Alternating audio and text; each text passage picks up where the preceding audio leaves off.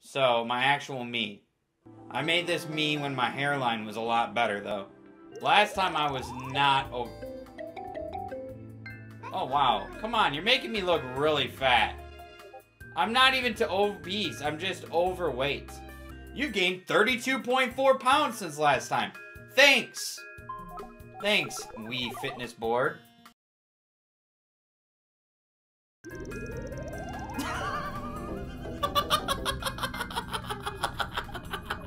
99.99. well, I guess we're...